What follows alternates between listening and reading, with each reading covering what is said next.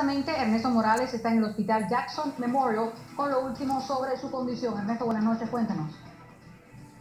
Buenas noches, Lisette. Así como dices, cuando una persona quiere ejemplificar algo que le parece, digamos, improbable, dice es más difícil que si le cayera un rayo encima. Bueno, pues particularmente esto fue lo que le ocurrió a un joven hoy, precisamente en un parque de Hialeah, aunque a decir verdad era una tarde particularmente peligrosa. Miren ustedes. Una tarde de rayos y fuertes relámpagos. La misma tarde en que Jethro Alonso, un practicante de motocross de exhibición, fue impactado en el parque de motocross de Hialeah por uno de los cientos de rayos que cayeron hoy en el sur de la Florida. Iba caminando y vi que el rayo le golpeó al muchacho y lo tumbó de la moto. La probabilidad de que un rayo impacte a una persona se calcula en una entre 3 millones. La práctica de esta tarde acababa de concluir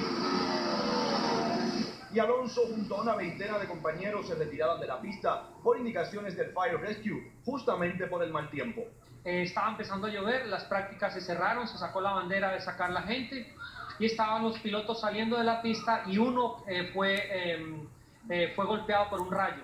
Una de las motociclistas presentes en el área dijo que era paramédico y comenzó a darle reanimación a Alonso que yacía en el piso inconsciente en medio de la lluvia y la desesperación. She was the first person to the scene ella fue la primera persona que llegó a esa escena y comenzó a ayudar a Jethro a que no perdiera la vida ahí. Fue algo muy duro. En el momento del incidente, dos paramédicos del Miami-Dade Fire Rescue estaban en el lugar y fueron quienes transportaron a Alonso con poca respuesta de vida al Hospital Jackson.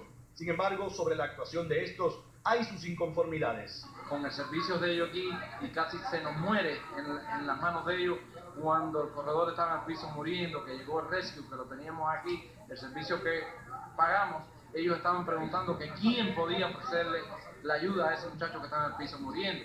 Para este equipo de motoristas aficionados que dicen tener a la pista como sitio de reencuentro amistoso, ha sido un día triste e inolvidable. Esto es increíble, de verdad que, que estamos todos en shock, es nuestro amigo, ahora estamos esperando a ver qué información tenemos de, de su recovery, a ver cómo está, porque fue impactado por el rayo.